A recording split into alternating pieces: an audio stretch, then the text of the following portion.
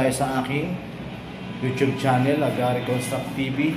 Uh, ngayon po, ipapakita ko po sa inyo kung paano magkabit ng, ng wall panel, yung fluted po, na fluted na wall panel. Uh, bali, yun po gagawin natin ngayong araw. Sana meron kayong magagawin sa akin kahit paano. Uh, sa mga hindi pa subscribe ng aking YouTube channel, please subscribe Gary Construct TV para update kayo sa mga bagong video ko nilalabas about painting works, sa mga construction technique. Maraming maraming salamat mga ka-painters. Ito mga ka-painters ang gagamitin natin na wall panel. Ito po yung fluted na wall panel.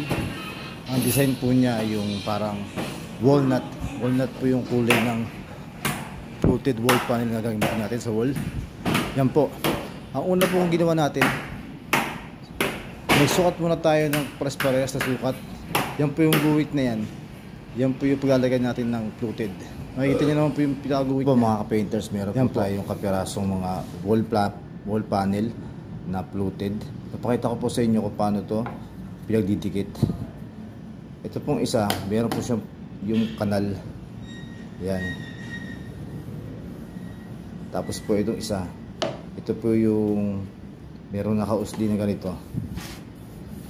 Yan po yung ipapasok natin dito sa pinaka-kanal. Kapag maglalagay po tayo ng fluted na wall panel, halimbawa, doon tayo sa ano, sa may sa wall, sa wall ilalagay, halimbawa dito po.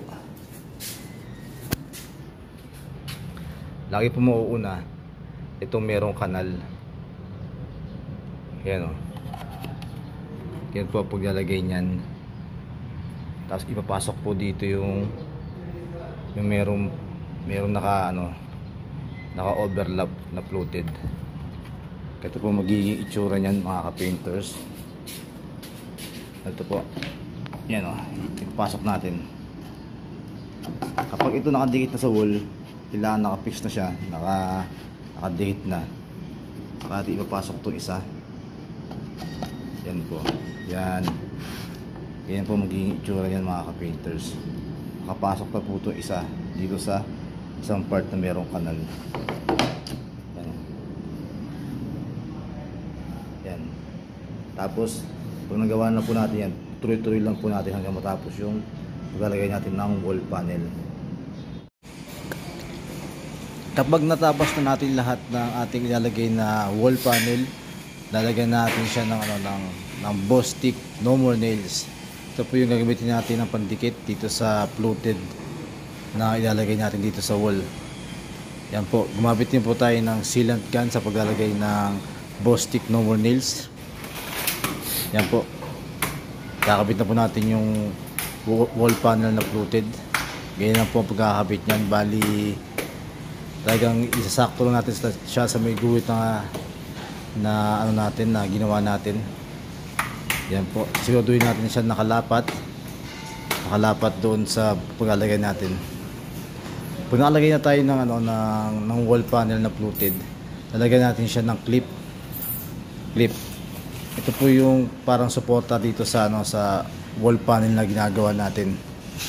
Bali ang paglalagay po niyan babarinahan po, po natin yung wall gamit yung ating drill.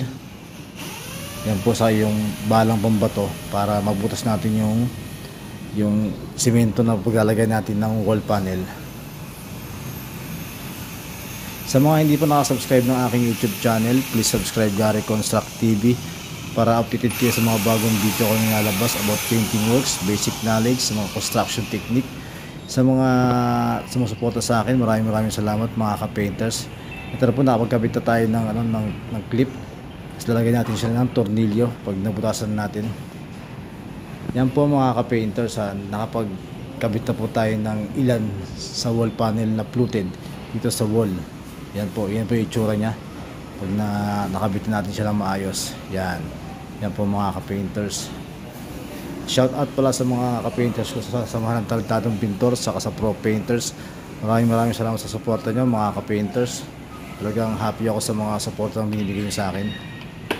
Yan po mga ka-painters oh. Nakabit na po natin siya talaga. Ang ganda po ng pagkakabit ng ating fluted wall panel. Yan.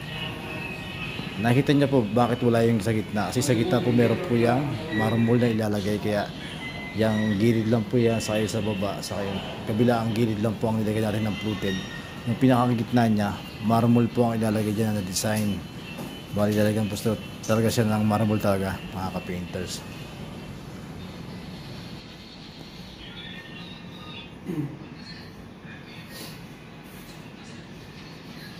Yun po mga ka-painters, nagpapasalamat po ako sa mga nanood ng aking video tutorial about sa pagkakabit ng wall panel na fluted. Sa mga hindi po nakasubscribe ng aking YouTube channel, please subscribe Gary Construct TV para updated kayo sa mga bagong video ko na nilalabas. Sa mga gusto mong pagawa sa akin uh, about sa mga painting works, sa mga construction technique, update niyo po ako message sa aking FB page sa Gary Construct Painters, sa aking FB account na Gary Construct Painters din po. Uh, maraming maraming salamat sa mga sumusuporta sa akin, lalo sa mga kapwa ko. Peace out mga painters.